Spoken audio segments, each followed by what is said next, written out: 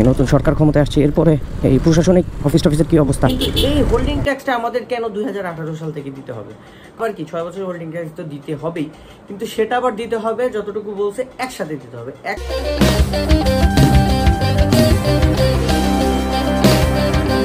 Beautiful people সবাই কেমন আছেন? খুব ভালো আছেন।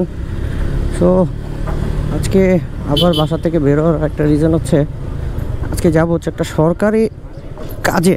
আর বাংলাদেশে সরকারি কোনো কাজ, সরকারি অফিসে করা কিছুদিন আগে পর্যন্ত খুব মানে পেটাদায়ক ছিল, এখন আমি জানি না এখন কি অবস্থা।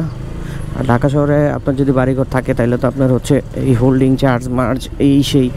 তো আমাদের সাইটটা এতদিন সিটি কর্পোরেশনের মধ্যে ছিল না, ইউনিয়নে ছিল।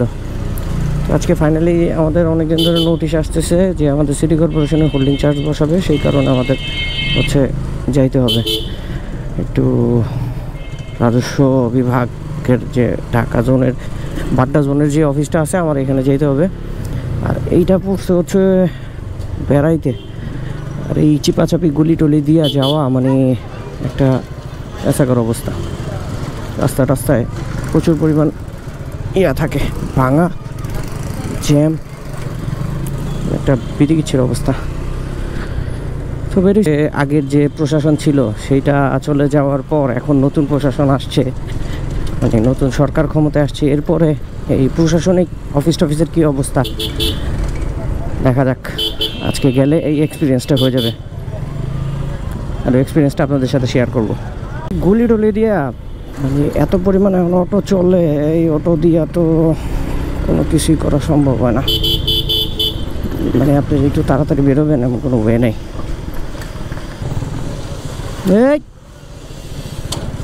বুঝলেন গাড়ি টাড়ি যে চলে, আশেপাশে যে গাড়ি আছে, মানুষ আছে, ওগো, ওই ইয়েই নেই, চিন্তাই নেই।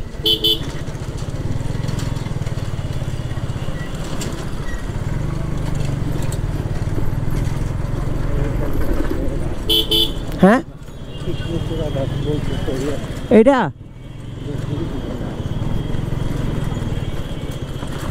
দাঁড়াও একটা সাইড করে নি।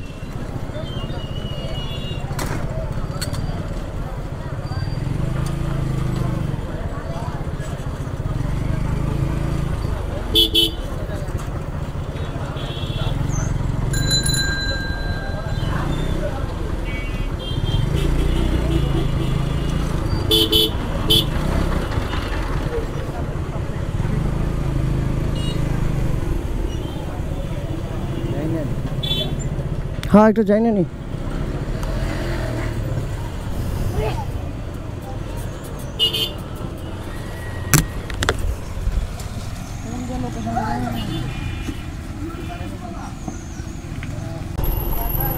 বাড্ডার লোকাল বাট একটা ব্যাপার কি, না, আমরা খুঁজতেছি একটা ছাপড়া মসজিদ, ঠিক আছে? এই মসজিদের আশেপাশে মানে জায়গার না দোকান, ইয়ার নাম হচ্ছে ছাপড়া মসজিদ। তো এর আশেপাশে মনে হয় আরও পাঁচটা মসজিদ পার হইলাম, একদম এতটুকু কাছাকাছি। এটা মনে হয়। পাঁচটা মসজিদ মনে হয় এক হাতে হাতে এটা নাকি জিজ্ঞেস করো তো ভাইয়া। ছাপড়া মসজিদ কি এটা? আচ্ছা সিটি কর্পোরেশনের একটা অফিস আছে না, এটা কোনটা? হ্যাঁ। আচ্ছা ওকে, ঠিক আছে, ধন্যবাদ। পাইছি। ঢাকা উত্তর সিটি কর্পোরেশন।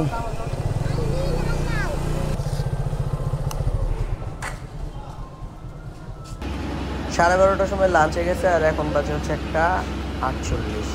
এই অবস্থা হচ্ছে বাংলাদেশের অফিস মাত্র দশ মিনিটের একটা কাজ করতে নিয়ারলি আমার দুই ঘণ্টা বসে থাকতে হয়েছে নিয়ারলি কারণ আমি সাড়ে বারোটার দিকে পৌঁছেছি সেখানে। তো আমাদের যে বাবু সাহেবরা থাকেন, সরকার অফিসে চাকরি করেন, তারা সাড়ে বারোটায় লাঞ্চে চলে যায়। তারা আসে প্রায় দুইটার দিকে আসে লাঞ্চের থেকে। তারপর আবার তারা তিনটা, সাড়ে তিনটায় সচরাচর অফিস থেকে চলে আমার এখানে একটা ব্যাপারে মানে কথাটা হচ্ছে, আমাদের যে ইউনিয়নটা ছিল, এই ইউনিয়নটা নতুন করে সিটি কর্পোরেশন হয়েছে দুই হাজার আঠারো সালে।